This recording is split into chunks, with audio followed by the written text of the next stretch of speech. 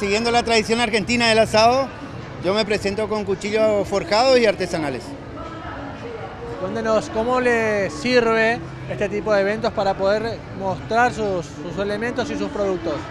Y son eventos importantísimos para nosotros los emprendedores y artesanos porque nos damos a conocer, nos damos a conocer, la gente conoce, viene, se lleva una tarjeta, te compra un cuchillo, el boca a boca y lo que nosotros venimos a buscar es darnos a conocer con la gente. ¿Cómo vienen las ventas? Muy bien, gracias a Dios, se, está vendiendo de a poco. Eh, tengo dos calidades de cuchillo, uno más premium y otro más económico. Y está bien, estamos vendiendo. ¿Qué trajo para vender hoy? Traje portamate, eh, portamate que este es para, para autos, palanca de cambio, eh, portatermo, canasta, cinturones y mate eh, con cuero de base. ¿Cómo están los precios?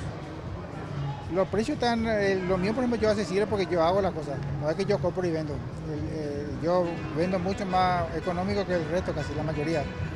Porque el que compra vende tiene, no le deja ganancia, tiene que vender mucho más caro. ¿Qué le parece que en una oportunidad como esta, la Expo Asado, venga usted con sus productos acá a poder comercializarlos? Para mí me viene bien porque se vende bien cuando hay un, un evento grande así, se vende más, se vende bien y eh, tengo una buena cantidad de clientes que ya me conocen y conocen mi producto, entonces vendo bien. Eh, la expo para mí es una vidriera. Es una vidriera donde uno puede mostrar lo que vende, lo que tenemos. Cada artesano muestra lo que, lo que tiene. Bueno, y de ahí hay ventas eh, más grandes, más chicas, pero lo importante es que uno puede ir haciendo conexiones también de negocio con otros. A mí me pasó recién, por ejemplo, que eh, gente que conocí hoy, que son artesanos en tallado de madera, que yo, por ejemplo, no tengo incorporado tallado. Bueno, ahora ya estamos haciendo conexión comercial, como se dice.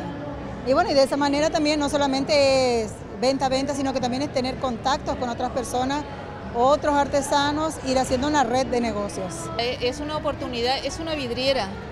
Para mí es una vidriera porque si bien por ahí el cliente no compra, mira, pregunta, pero vos le das tu tarjeta y después hace el contacto. Entonces ahí, ahí vos vendés, ellos ven todo lo que vos tenés, te siguen en Instagram y bueno, y así se, se vende también. ¿Cómo se llama el emprendimiento? Mi emprendimiento se llama Diseños Luna y es de hogar principalmente eso, de hogar que todo textil prácticamente.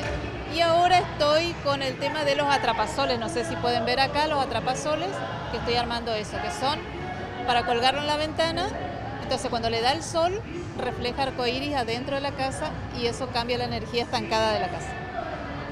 ¿Y la gente viene, pregunta y compra? Sí, sí, gracias a Dios, buena recepción de, es- de ese producto, sí. Y después todo lo textil también, lo que sea de hogar también, por supuesto. ¿Usted